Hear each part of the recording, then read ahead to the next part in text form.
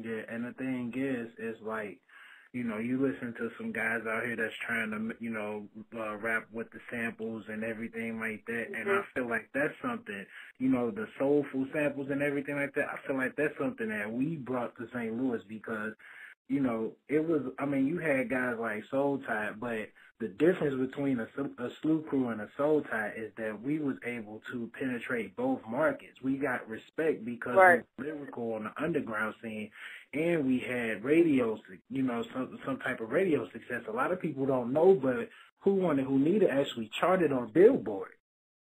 What? You know what I'm saying? Yeah. I, you know, I didn't know that. And I like to think I know a little something about St. Louis hip hop. I did not know and that. You know what? And you know what? I'm gonna tell you something else.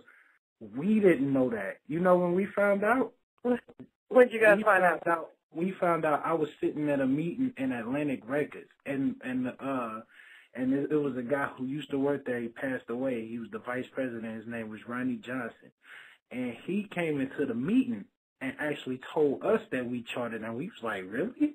You know? What? We were shocked. Are you serious? Yeah. Oh shoot! I mean, what what was that feeling like? You know what I'm saying?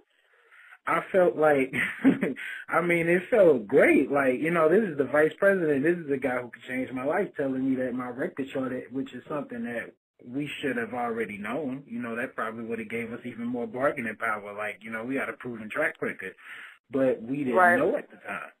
You know what I'm saying? Mm-hmm. So, what I mean, now I look at it you know, being a little older, and I feel like, well, damn, you know what I'm saying? My business should have, you know, we should have kept that business straight. And if we would have had the business straight, who knows where we could have took it.